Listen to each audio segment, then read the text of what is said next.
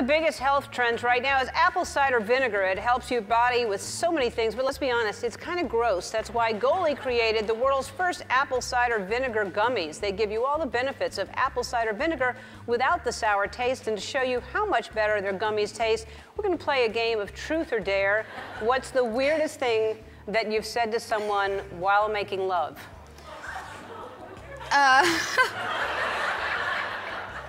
can I just take a shot?